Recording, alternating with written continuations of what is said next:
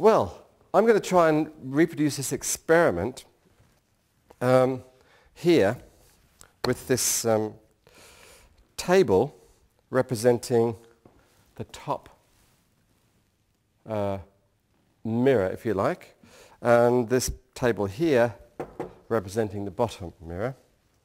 And I'm going to throw a ball, a bouncy ball, I've got one here, ordinary bouncy ball, and I'm going to throw that under the table and it's going to go out the other side like this. Now to make my job a bit um, more difficult, I've got a, a pile of glasses here which I'm going to stack up. And there's a neat little gap through here which I think I can aim for.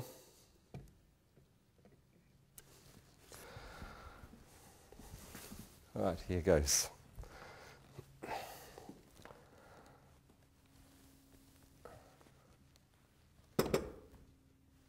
And the ball is still in my hand. So there's something funny going on here. Maybe this table is the wrong way around. Um, hmm. Uh, maybe the glasses don't have anything to do with it. I'll move the glasses away. Um, of course, the glasses don't have anything to do with it. They're just there for effect. But we have to think a little bit about what's going on because we can see now that the ball going in here is not going out the other end, but it's coming back the way it came. Why?